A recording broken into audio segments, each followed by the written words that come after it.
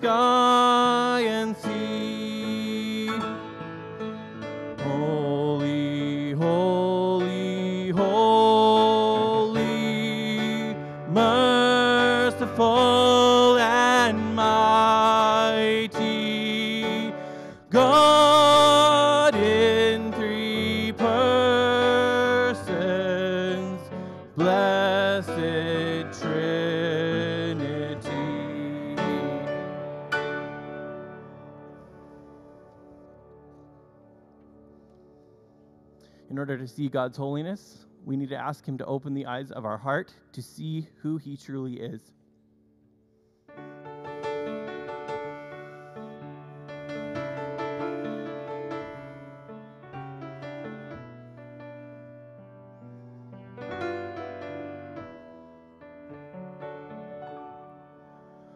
Open the eyes of my heart, Lord. Won't you open the eyes of my heart? I want to see you. I want to see you. Let's sing that again. Open the eyes of my heart, Lord. Won't you open the eyes of my heart? I want to see you.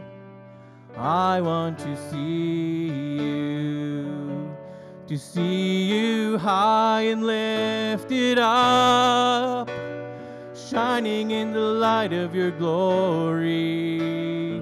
Pour out your power and love as we sing, Holy, Holy, Holy. Open the eyes of my heart, Lord. Won't you open the eyes of my heart? I want to see you. I want to see you. Open the eyes of my heart, Lord. Won't you open the eyes of my heart? I want to see you. I want to see you. To see you high and lifted up, shining in the light of your glory. Pour out your power and love as we sing, Holy, Holy, Holy. To see you high and lifted up, shining in the light of your glory. Pour out your power and love Holy, Holy, Holy. Holy, holy, holy. Holy, holy, holy. Holy, holy, holy. I want to see you. Let's sing that again. Holy, holy,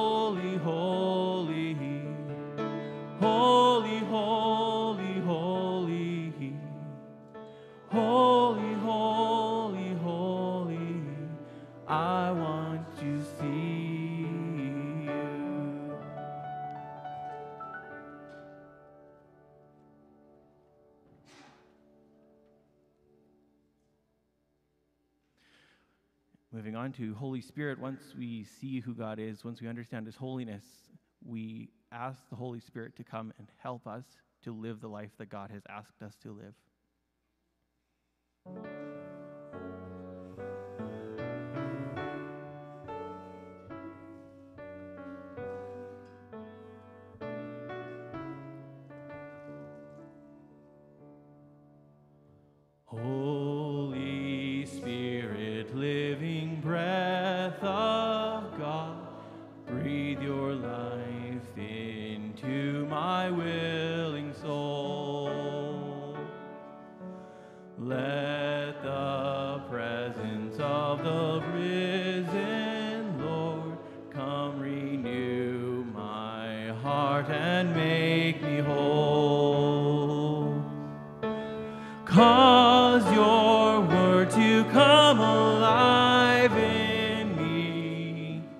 Give me faith for what I cannot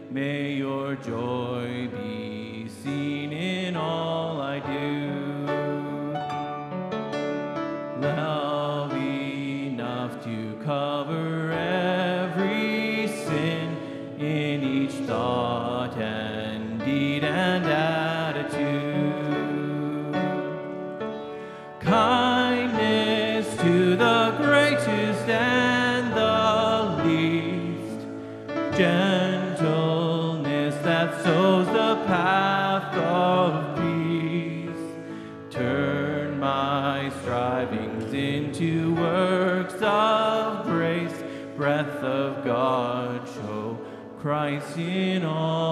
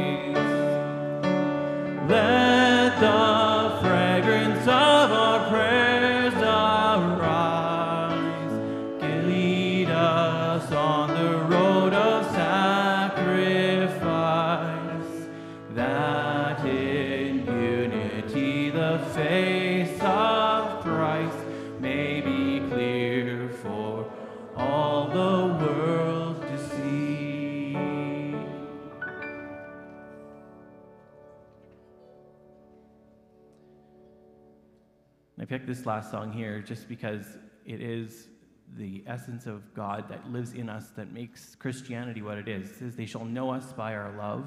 And when we have asked the Holy Spirit into our lives, there is a sweet, sweet spirit in this place amongst those who believe and follow him.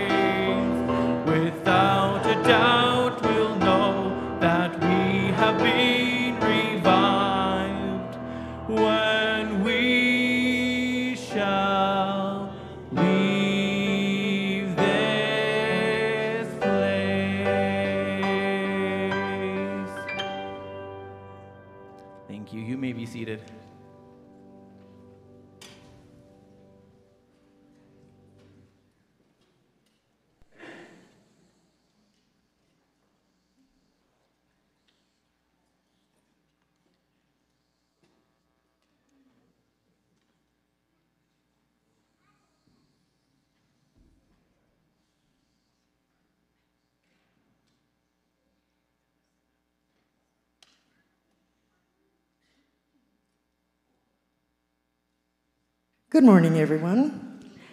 Welcome to Entwistle Community Church.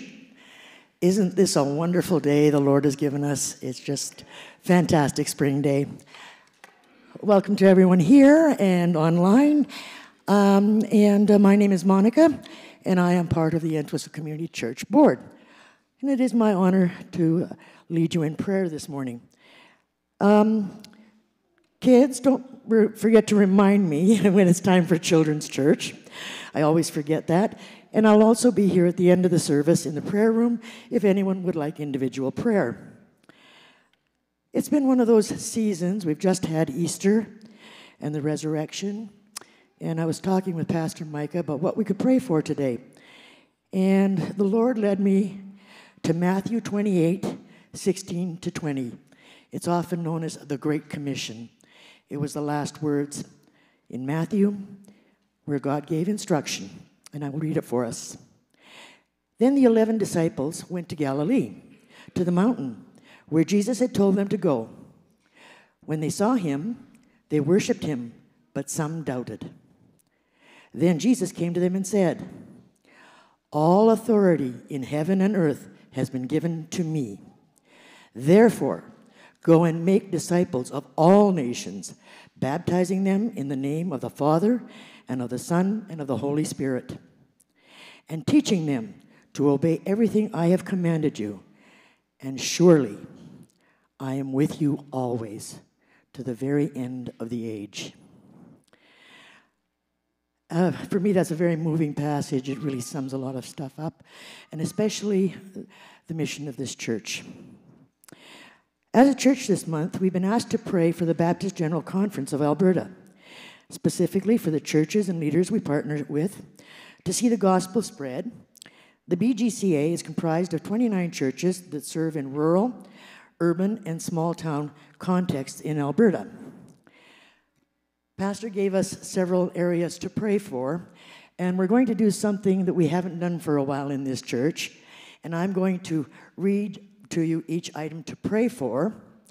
And I would like you to, as a family, or if you have a partner or a new friend to pray with, I am going to read the item and I would invite you to pray. And if you're uncomfortable, just bow your head and pray on your own because God hears all our prayers. So if you'd like to join in your little groups with each other, Heavenly Father, please hear the words of this congregation as we lift our voices to you. The first that we want to pray for, Lord, is that BGCA churches will align in God's mission to make disciples for Jesus Christ in places near and far. I invite you to pray, and then I'll give the second.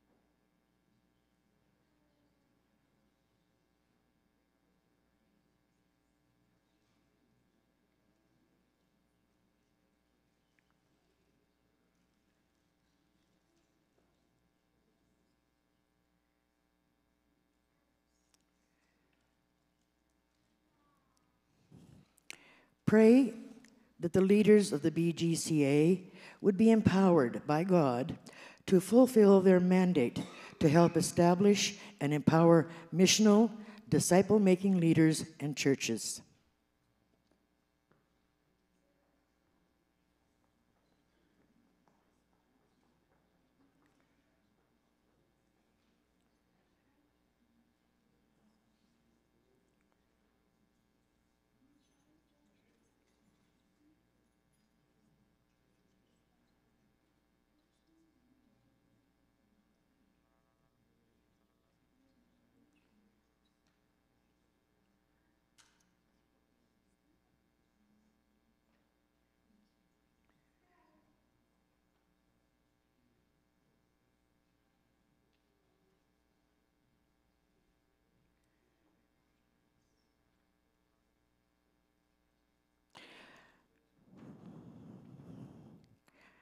Pray that God was, would raise up leaders in local churches such as ours to work for the kingdom and that God would provide the resources to sustain us.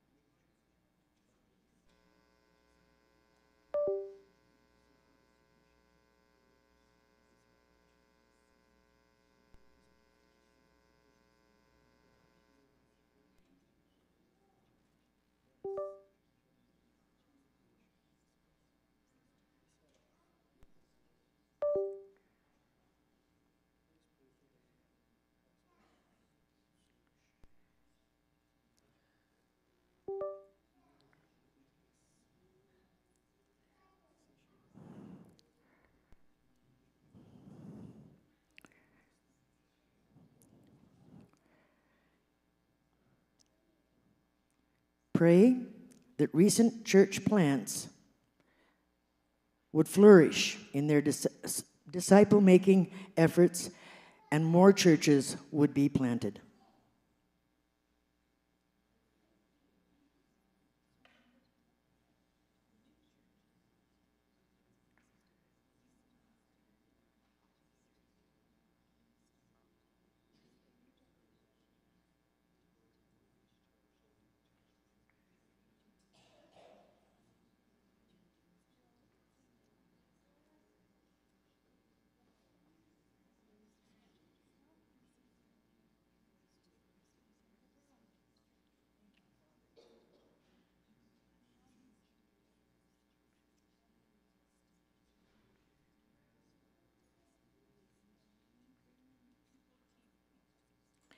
Pray for our BGCA leader, Dennis Gully.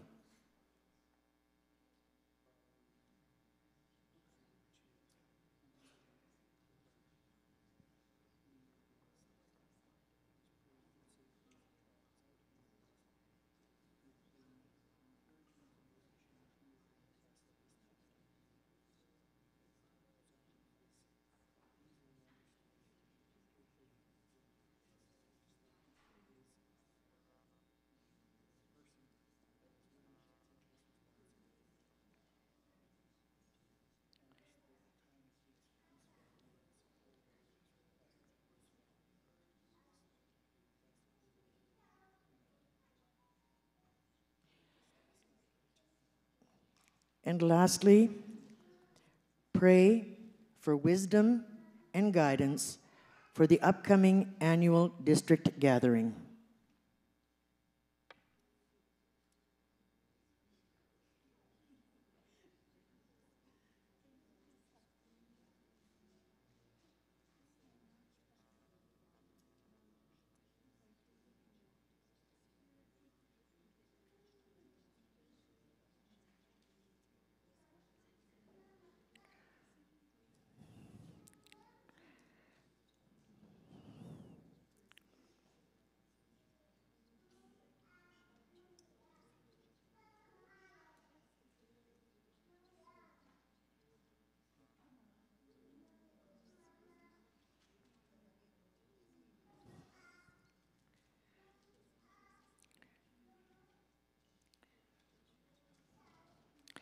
And while our heads are bowed, I, I will finish in prayer.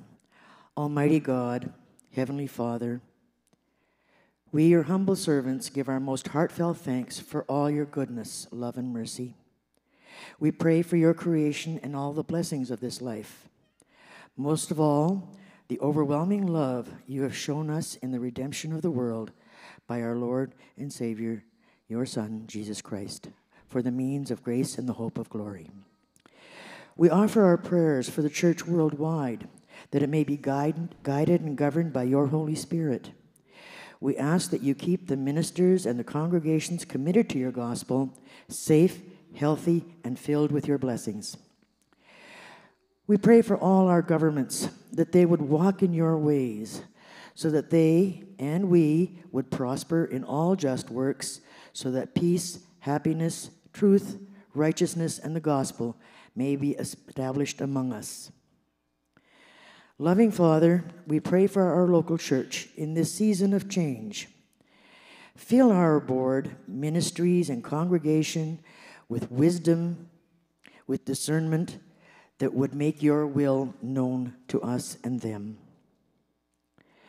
We celebrate with sadness and yet joy for the commission you have placed on our beloved Pastor Micah and his family. Keep them safe and bless them that they may prosper in their new church and home. And for all of those here and at home, in whatever they are suffering, their grief or illness be, give them your comfort, peace, patience, and if it be your will, healing.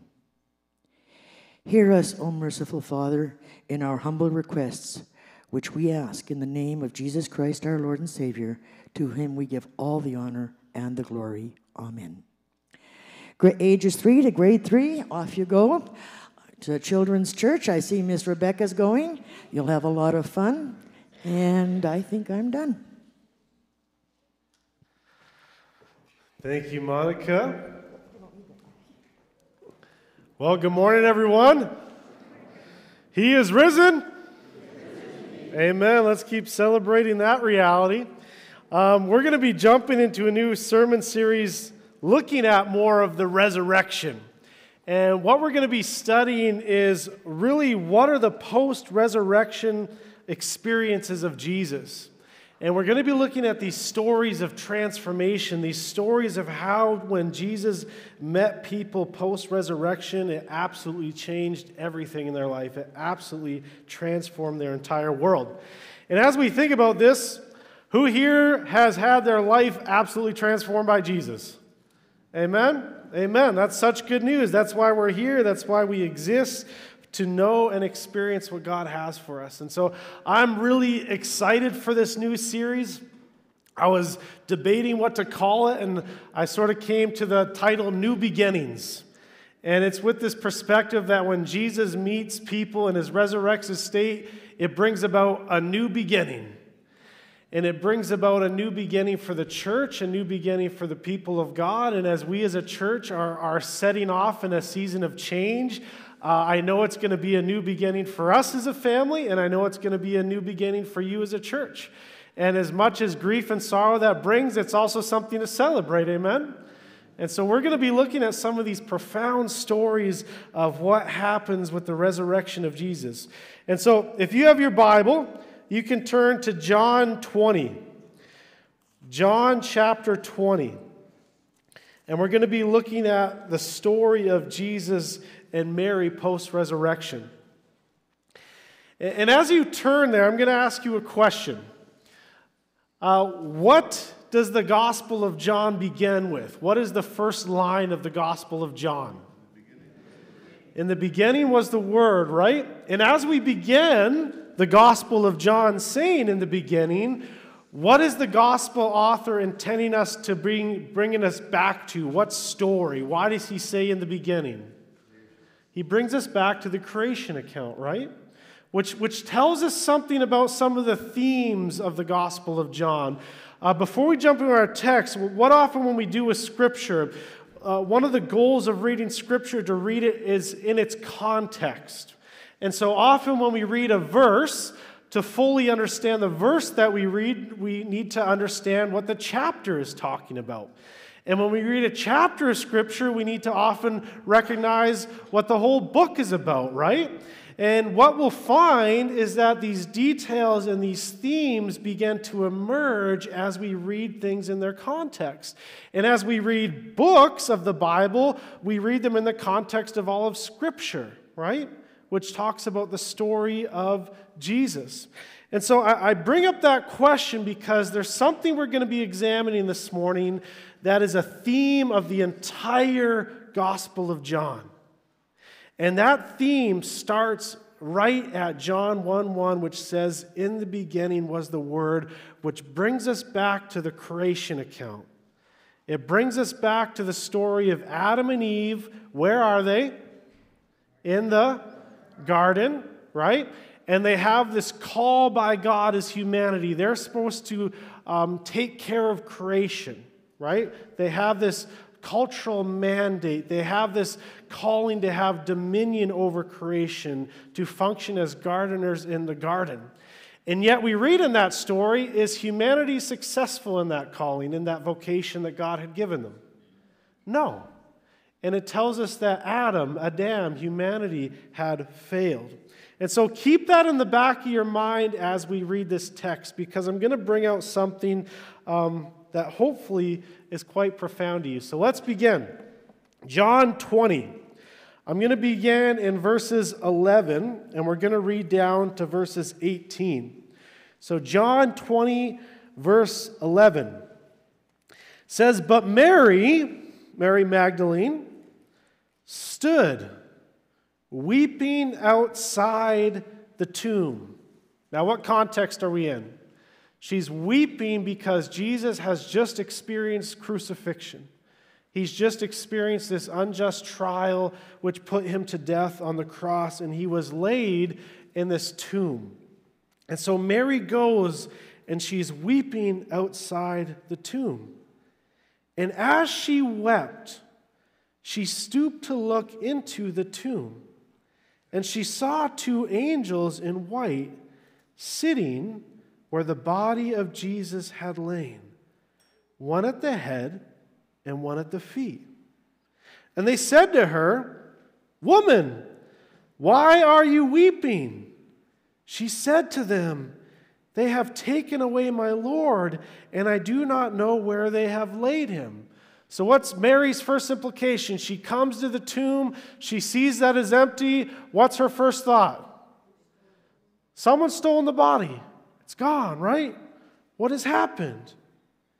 It says, having said this, she turned around and saw Jesus standing. But she didn't know it was Jesus. Now, here's what's wild about the gospel accounts before I go on. When we look at the tomb story, it doesn't specifically say it in this story, but one of the fascinating things about when the empty tomb is walked upon and they begin to examine the tomb, what do we see laying down there? Yeah, the burial cloths, right? Now, that's a very fascinating little piece of historical evidence because when we read the story of Lazarus, we see him being resurrected by Jesus and he's sort of all mangled and tied up, still coming out of the tomb. And yet, there's this historical piece of evidence that the, the writers of the gospel put that the tomb had these burial clothes folded very specifically as if Jesus sort of took them off as he resurrected and folded them nicely. But that is the context in which we're walking in. And so she's looking for Jesus. She's longing to find him. She's wondering where he is. She looks around, and Jesus said to her, Woman, why are you weeping? Whom are you seeking? Supposing him to be what? The gardener. We're going to deep dive into that. We're going to get there. But supposing him to be the gardener, she said to him, Sir, if you have carried him away, tell me where you have laid him, and I will take him away. And Jesus said to her, Mary. She turned to him and said in Aramaic, Rabboni, which means teacher. And Jesus said to her, Do not cling to me, for I have not yet ascended to the Father, but go to my brothers and say to them, I am ascending to my Father and your Father, to my God and your God.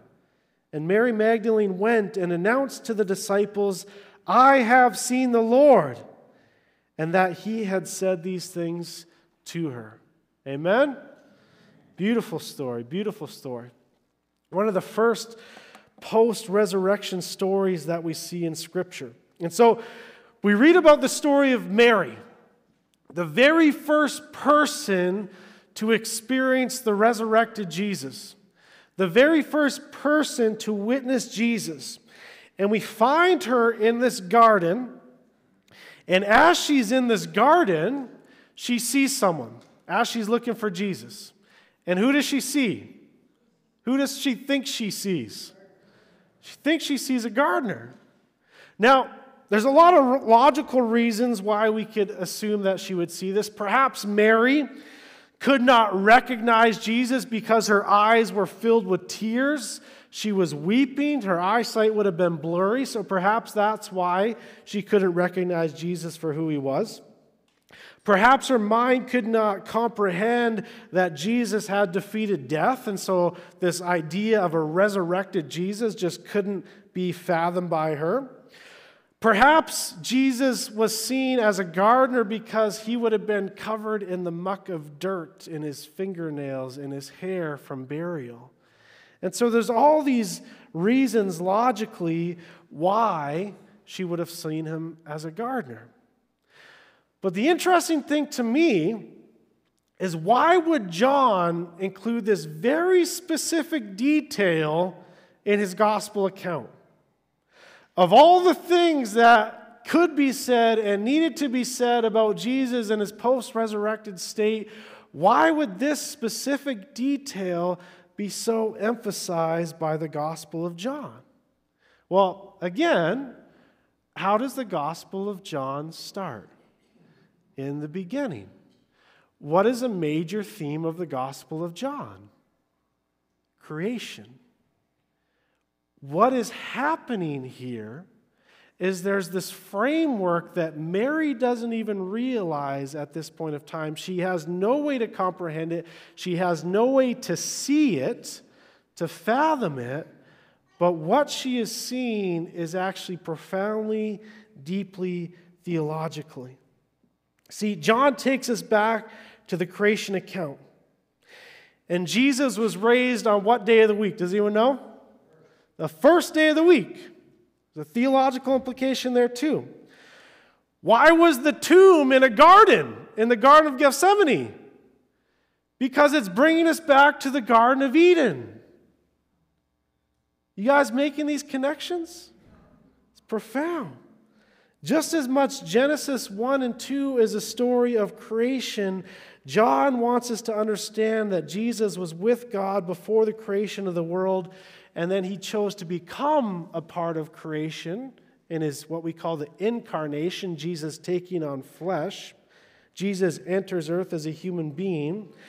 But Jesus doesn't just come into creation, he actually deeply affects all of creation itself. And so, what is this pattern that we see in the Gospel of John? Let me, let me expand this theme for us to understand what's going on here. And so, we see in the beginning, Jesus was with God and Jesus was God, right?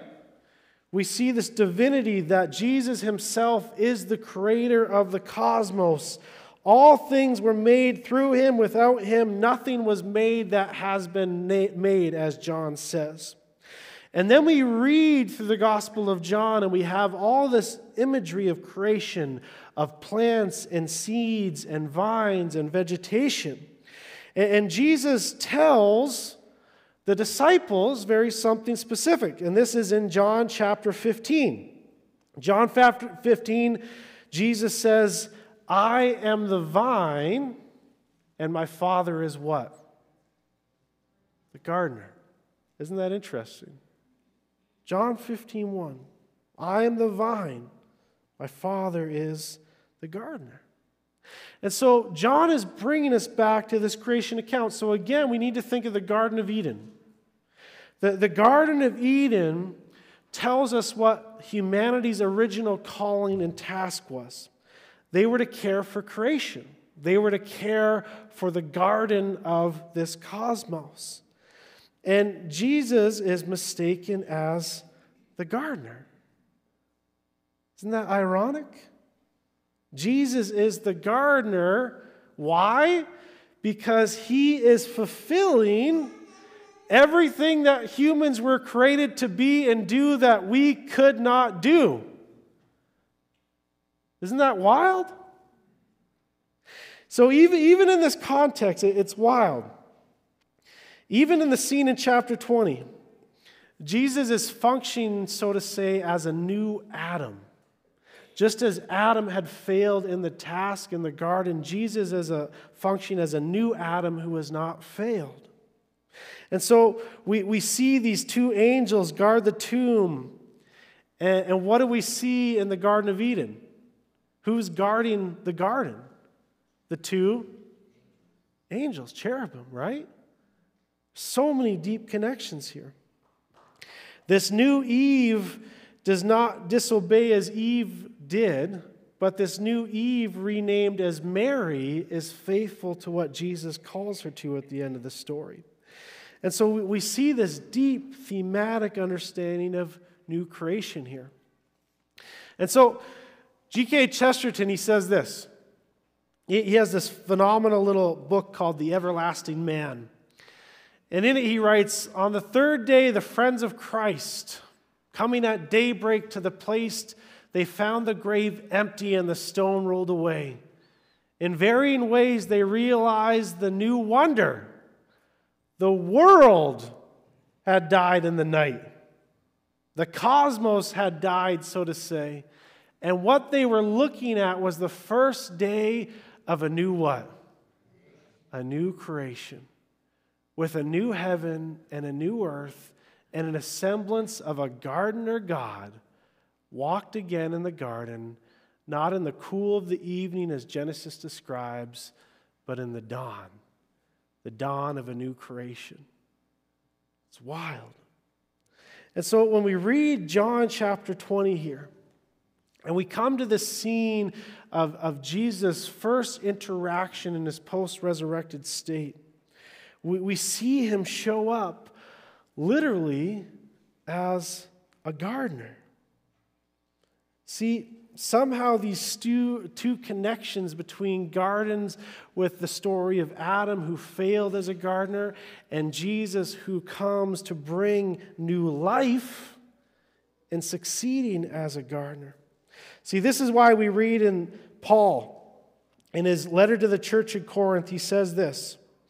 He reads these, he recites these words to connect Adam and Jesus. He says, But Christ has indeed been raised from the dead He's celebrating the resurrection.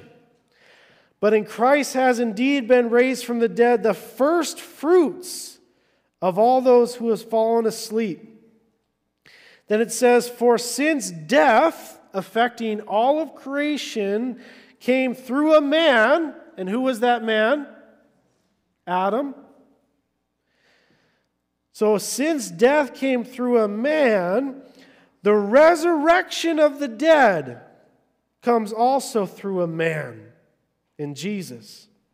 For as in Adam, all, does anyone know, all die. All die in Adam. But in Christ, all will be made alive. Isn't that beautiful to think about? All will be made alive. And that's not just all people, that is all of creation. There's a cosmic perspective to what is going on here in the resurrection. And so, Jesus is the creator of the cosmos who has given this vocation to humanity who failed. And yet, he comes as the God who recreates and reorients the life of the cosmos to the purposes of God. And so, again, the, the first Adam was the, the gardener who failed in his task. And what was the result? The world became what? A wasteland of sin and despair and injustice and evil. A world of selfishness and greed and lust. But the second Adam brings a new creation. And what is this new creation? A world of peace and justice and love and prosperity and forgiveness. So Christ comes to literally restore the ruined and decimated garden. Isn't that wild to think about? You guys staying with me? I know it's a massive theme. Well, this is obviously a theme that has been picked up in the history of art. Anyone recognize this painting? Maybe recognize the artist? Rembrandt? Well, here's a, here's a fascinating piece, and I, was, I sort of went on a rabbit trail looking at some of the historical art depictions of Jesus as the gardener. And really, where we see it really prime up is in the Renaissance area, actually. Uh, but this one's Rembrandt, but really, it's this depiction of Mary's first interaction. And I love the, the historical art because it tells us something theological about the story as well. Because it places Mary back in the garden, and she thinks she sees the gardener. But as you see, Rembrandt and many other Christian artists throughout the ages have depicted Jesus as a literal what? What does he look like? He is a gardener. He's got a sort of sun hat sombrero, he's got some tools and a shovel, right? And, and what the depiction is, is what Mary thought she saw was way beyond her comprehension because the reality of the situation was that what she saw was actually fully true that even though she mistaken Jesus as a gardener, he fully was the gardener. But not the gardener of just the Garden of Gethsemane, he was the gardener of all creation. And so, with this image, with this picture as gardener, let's, let's frame it a little bit more for us. What does a gardener do? I know a lot of you out there are gardeners. I know some of you are even master gardeners. What does a gardener do? What is their vocation? What is their calling? What is their purpose? Okay, maybe one at a time. That was a good response, but that was just a wave of answers. Pardon, Bob? Yeah, take away the bad from the good. So, this picking of weeds, right? Separating the plant from the weeds, things that will choke and ruin. What? Yeah. Yeah, they deal with bad seeds. Yeah, they take care of what's there, and taking care of it probably makes something of beauty or something that produces something of value. To do that, what do you need to do? You need to work, you need to hoe, you need to get your fingers down and dirty, right? What else do you need to do? You need to trim, you need to prune, you need to plant just to start, right? You need to harvest, right? There's, there's all these imageries that we know and we've experienced with the role of gardening in our lives. And, and what's wild about this picture of Jesus is this picture of Jesus as gardener is literally, He is the God who does that for all of creation. And one of the, the, the pictures that I have in my, my mind too is, is gardeners really have to get their hands dirty, don't they? Their, their hands have to be in the dirt. And, and going back to the creation account too, I mean, it tells us that humanity is made up of what? The dirt, the dust, right? And then we look at this picture of Jesus, and this picture of Jesus is literally coming to this world, which is full of dirt and grum and weeds, and he enters into all of that dirt in a very literal sense. And I think it's this, this beautiful picture of what the incarnation is and what Jesus does as this vision, this picture of the gardener of creation. Now, what does that mean for our lives then? Not just the cosmos, but for our lives. What does it mean if Jesus is the gardener in each and every one of us?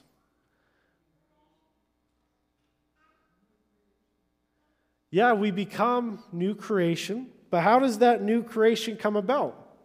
Well, a gardener has to till soil, they have to turn soil. And when we think about tilling and toiling in our lives, sometimes that tilling is painful. Why? Because he digs into us, so to say.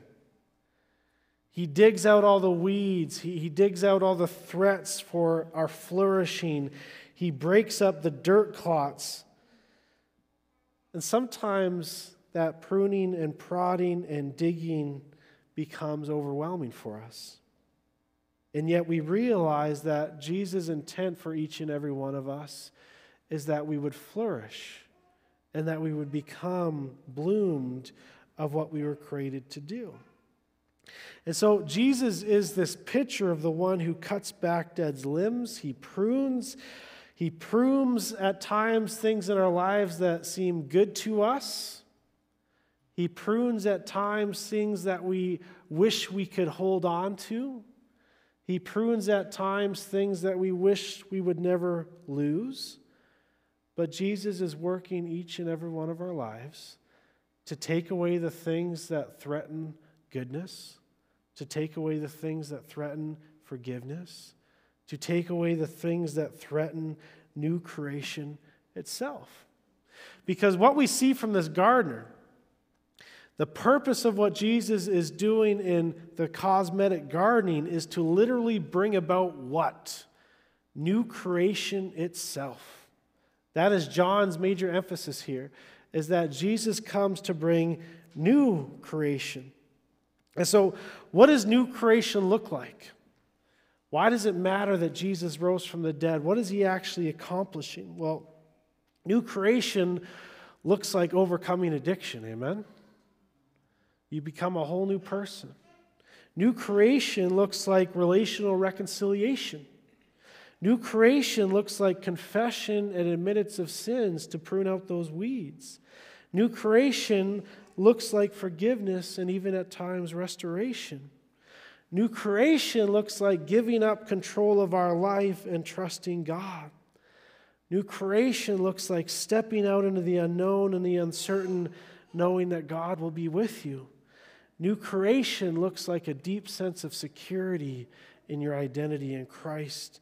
And new creation looks like knowing your value and dignity and the value and dignity of others created in the image of God. New creation changes everything. And we get to experience this new creation because, why? God keeps reaching down into the dirt of humanity. Amen? Isn't that good news? That's the only reason why we can experience new creation. That's the only reason why our lives can be transformed because God is a God who keeps reaching down into the dirt of humanity and pulling us out of the graves that we have created for ourselves through violence, through gossip, through slander, through injustice, through evil, through selfishness. And yet God keeps loving us back to life over and over again. Now, Mary sees God. Let's go to the next thought. Mary sees God Himself in Jesus. God is the creator of the cosmos. God who is bringing about new creation through his resurrection, not just new creation in each of our individual lives of those who follow him, but literally new creation for everything. And so Mary sees Jesus, and what do we see Jesus say to her? Mary. Mary. Now, there's a fascinating little bit of language going on here. Uh, the New Testament scholar N.T. Wright brought this out and it was quite profound to me, so I want to share it with you guys. See, Jesus doesn't say the name that has been spoken of Mary throughout the Gospel of John up until now. And the, the framework of the, the way that John has been using the name Mary has been more like Maria, the Greek name, the name that the Roman soldiers would have called her. But now, in this context here in chapter 20, there's an entirely different name used for Mary here. And it's Miriam. Miriam. Isn't that interesting? This is her original name. This is her Hebrew name. This is the name she was always really called. And so Jesus calls her through her tears by her true name. Now, think of this story again through the light of new creation. Mary had this identity that was given to her through this name. And yet, that identity was taken from her from some Greek speaking Roman soldiers who was taken from her from the reputation she held in the empire. And yet, Jesus calls her by her true name. He calls her to a new identity. And he calls her to this new purpose and calling. See, again, this theme of new creation is even in just the way that Jesus calls her name. That's how deep this theme is going right now. See, Jesus calling to Mary to give her a new identity brings us back again to the first creation account. Because what was Adam's first responsibility as the taker of the garden?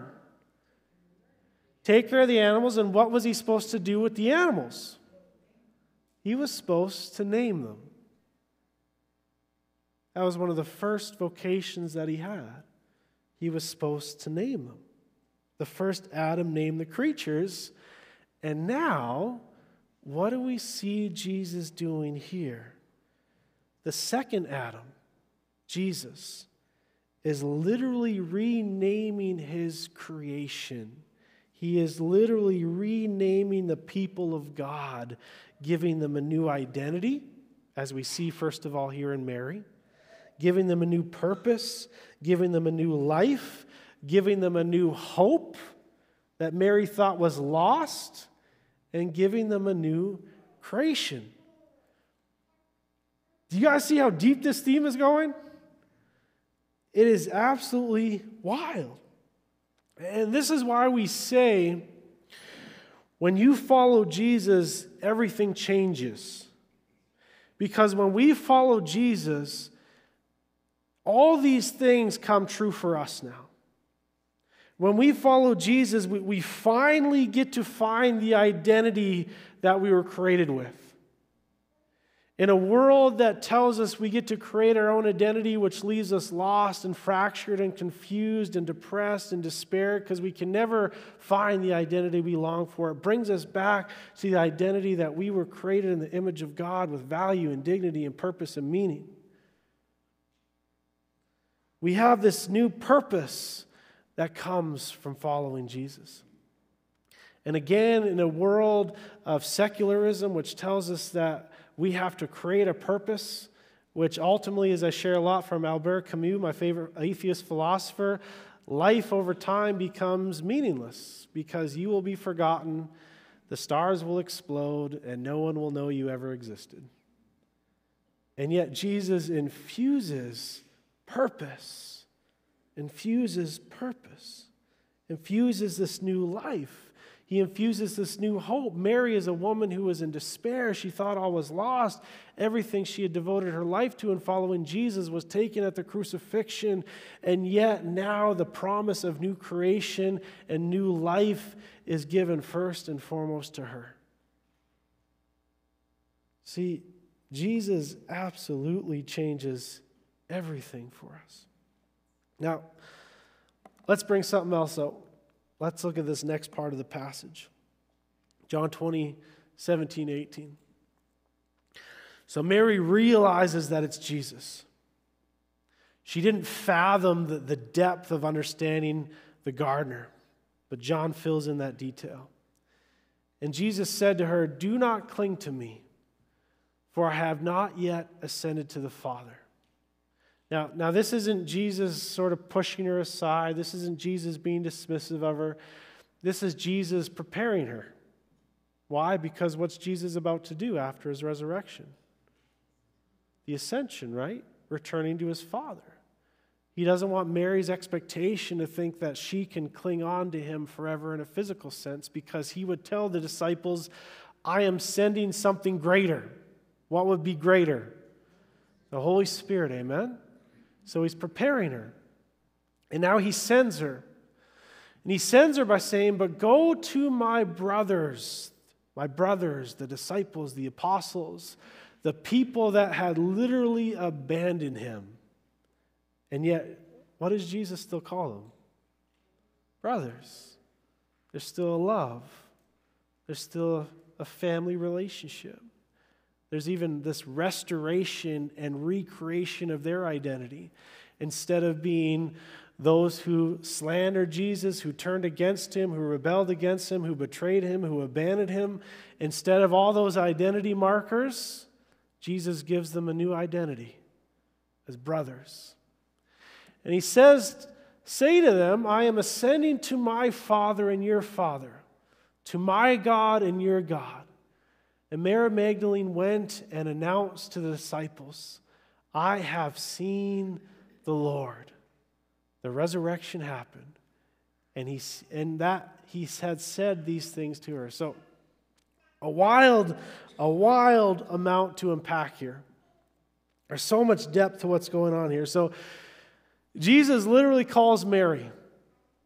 And the first thing he does is sends her the first thing he does is saying, Now that you understand resurrection is a reality, and now that you understand things have come into fruition, everything that I said will come true. He says, You need to go tell the disciples about this. Now, Mary calls the apostles, the disciples, and she proclaims to them the gospel because Jesus has given her a mission. Jesus has given her a calling. Jesus has given her this desire to proclaim and preach the good news. And what's fascinating to me about this story is who, who remembers what apostles mean? What does apostle mean? Sent one, right? Mary here literally becomes the apostle to the apostles fathom that for a second. Isn't that beautiful? And, and we see Mary taking this role. Now, who would we expect? We, we would expect Peter. We would expect John. We would expect James to be the first announcers of this important message, and yet Mary becomes the apostle to the apostles, the one who is called the first evangelist, the first preacher of the gospel. And Jesus sends her and he calls her to be that agent because now she becomes a participant in new creation.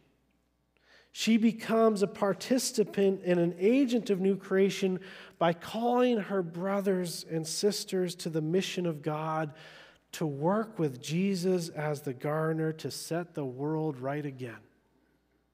That is the mission that was given to her. And the beautiful thing is, Jesus started creation, Jesus created the garden. He continued the restoration of the garden, and now we see him calling his people into the mission of to be agents of this new creation. See, John 20, in the story of Mary, it's the scene that reminds us of the Garden of Eden and it reminds us that what was lost will one day be restored. And what was lost has already begun to be working towards what God originally desired.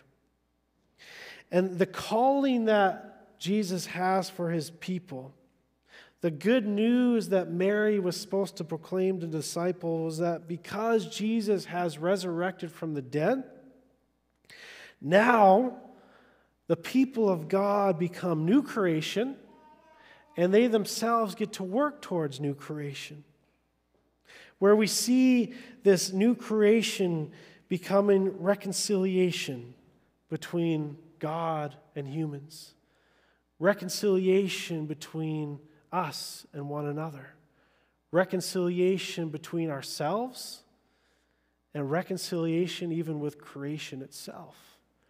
That is the good news of what Jesus has brought into recreation. And so we see this, this beautiful description of Jesus bringing creation back to everything it was supposed to be and calling his people to do the same. Good news, amen? Let me close with one more thought. What does this have to do with us? How does this reframe our understanding? Well, this story of Jesus' resurrection, the story of Mary, this picture of the garden scene where the gardener of creation has literally come back to take ownership of what was lost, of what was broken, of what was fractured. It means that when we are in Christ, we are a new creation. In other words, our identity has changed, our purpose has changed, our mission has changed, everything, our perspective has changed, everything we exist for has changed. We literally become new creation when we are in Christ. And the calling we have then is to partner with the gardener, so to say. To partner with the gardener, to see all the elements of new creation come into fruition to see the recreation of this world. See, this is what we long for, this is what we hope for, this is what gives us perspective on everything. Let me close with one final thought. Um, I was reading Richard Dawkins' The God Delusion. Anyone heard of that book before? Richard Dawkins is quite a, a prominent atheist, naturalist. And he writes this book, and what really struck me in the introduction was, was I came across this quote that he had. And he writes this, and he, he has this little quote from Hitchhiker's Guide to the Galaxy. I don't know if anyone has seen that movie before, it's sort of a classic. And he quotes this thought from Hitchhiker's Guide to the Galaxy. He says, Isn't it enough to see that a garden is beautiful without believing there are fairies at the bottom of it too. And what he's saying is, can't we just look at this world and say, what a beautiful garden, without having to believe in the supernatural? Without having to believe that there is a God who created it, without having to believe that God has done, done something profound. And yet, when we think about it, a garden, by definition, needs what? A gardener, right? And I remember reading that thought for the first time from Dawkins before I even got into the substance of his book. And it was basically not even an introduction. And I was like, he's already contradicting himself with this thought. If we look at this cosmos as a beautiful garden, what's the implication? There has to be a gardener who is taking for it, who is cultivating, who is bringing something of beauty and order out of the chaos. And I thought, what a, what a strange picture. You, you see, when we look at this world as a beautiful garden, I don't see it like an imaginary little fairy tale in a, a fairy as Dawkins sort of equates it to, but I do see so much evidence of a creator, of a God who created this world to see the order and the beauty of the cosmos. And we realize a garden, by definition, is a tamed piece of earth. And as soon as we see it, as soon as we see weeds plucked, as soon as we see flowers in a row, as soon as we see the oceans pushed back by the mountains, we say, Where's the gardener? Where's the gardener? And so, just at looking at this cosmos, we come to the realization and this deep sense of, of trust that there is a God who created this world, there is a creator who is sustaining this world Sadly, we as humans, who are also created beings, are the ones who have brought destruction.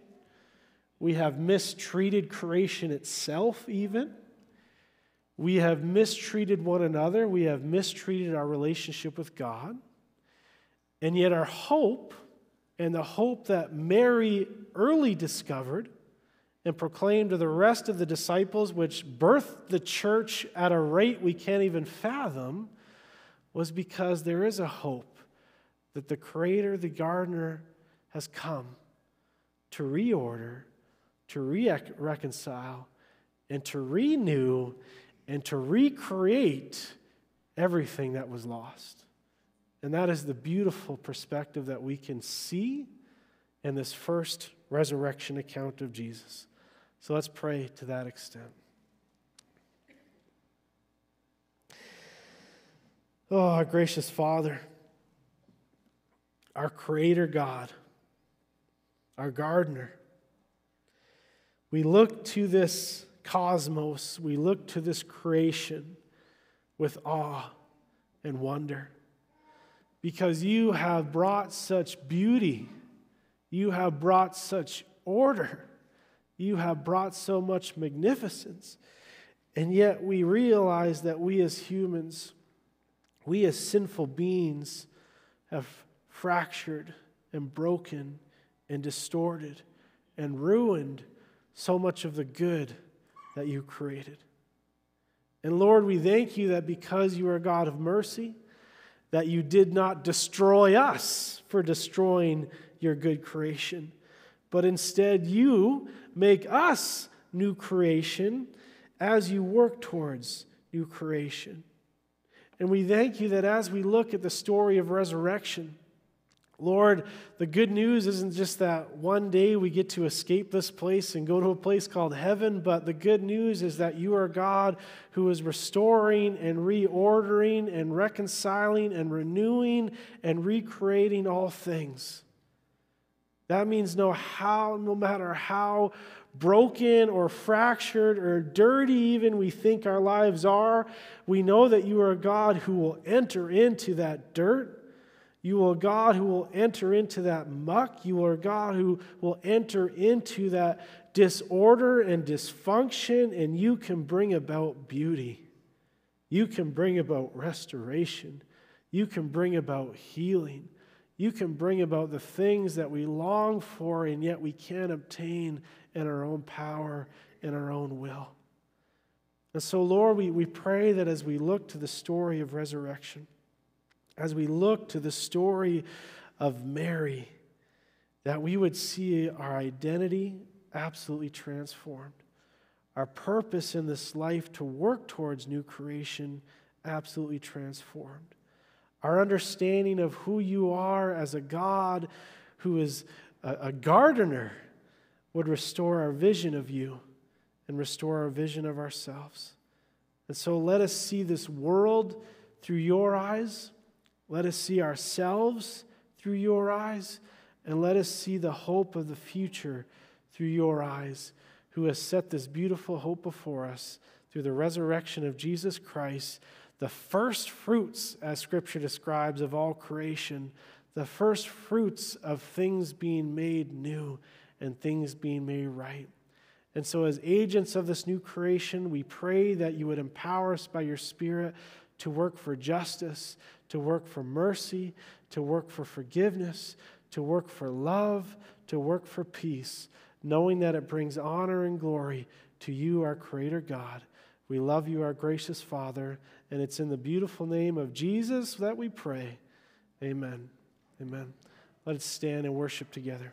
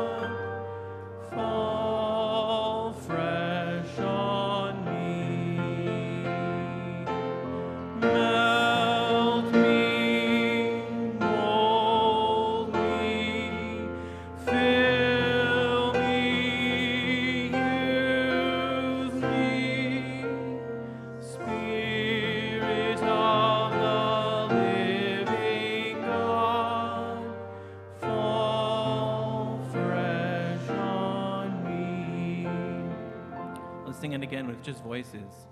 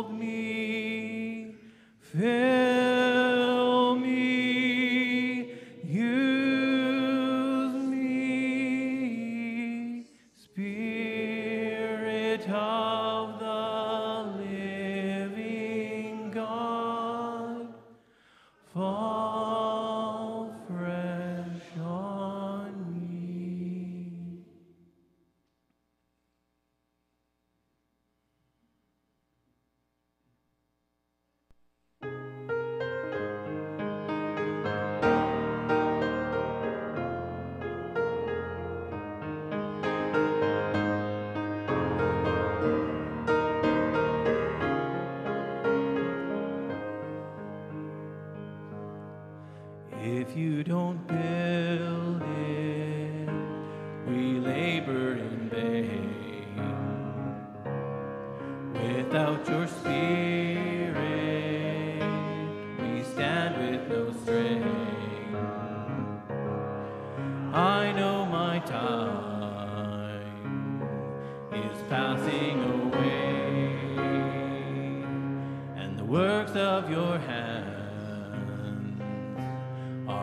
will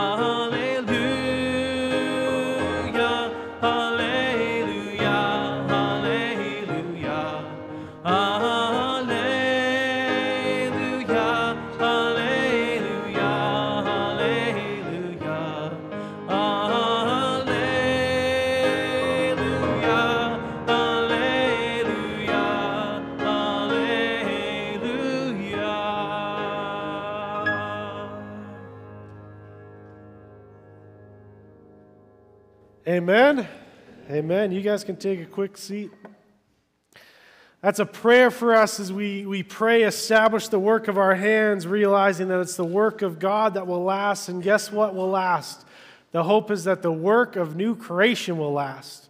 That is what will last in the kingdom of God. And when we work towards those things, those things are going to last into eternity, which gives them a deep sense of uh, meaning and value and purpose. Um, we have a couple announcements before you head out from here. Uh, the first one being uh, the ladies' women's retreat. And so I'm going to call up Nikki for a quick announcement.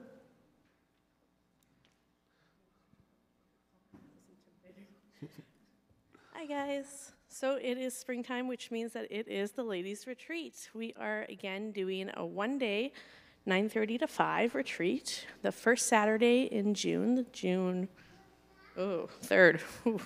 Um, so today or this year's theme is Let Go and Let God, renewing your trust in the Lord through prayer, His Word, and your community.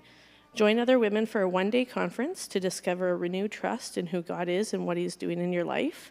Women from our community and beyond will share how they stay connected through prayer, through reading the Bible, journaling, and listening, and how we connect within our communities to show our faith in the Lord.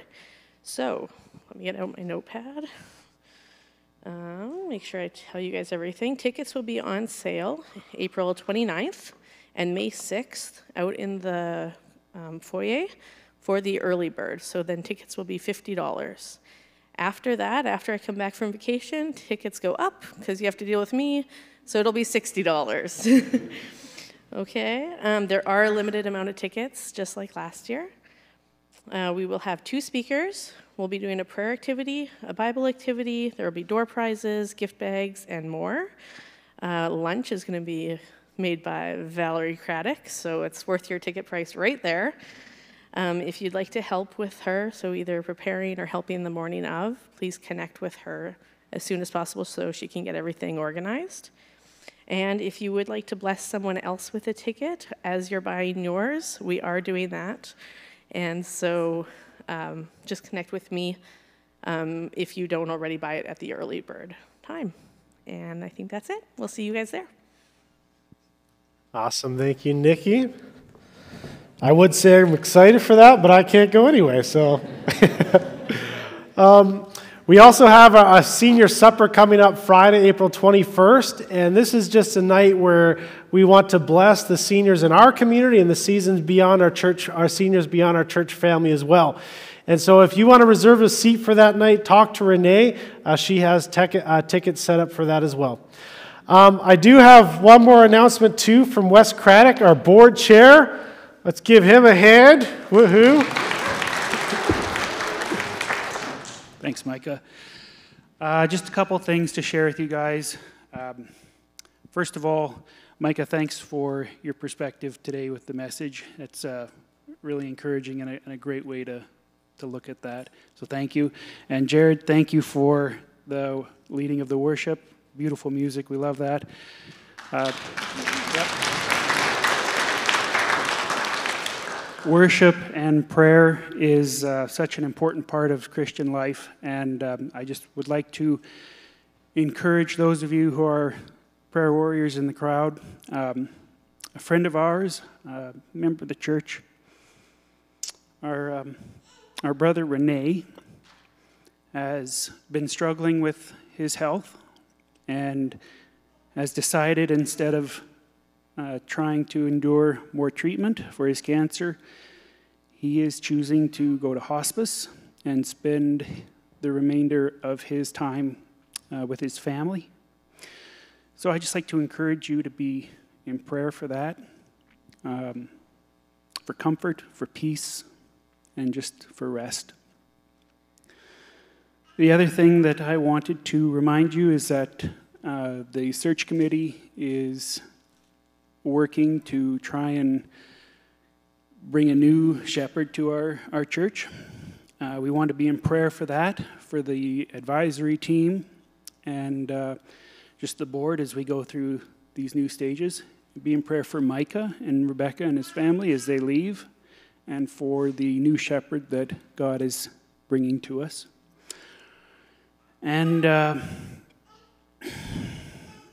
oh yeah, since Mike is leaving, we're going to have to send him away with a, a, bit of a pat on the back.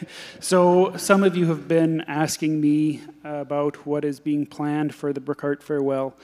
This is something that the board is going to be planning, and uh, we'll bring you some more updates as they come. But as it is right now, Micah's last day will be May 28th, and that day we will also be having a potluck. And uh, there are some ideas of what we can put together for him. So we'll give you some uh, updates on that next week, and uh, hopefully we can have all of your participation in that. So I look forward to seeing you next week for prayer time, and uh, hope you have a good rest of your day. Awesome. Thank you, Wes.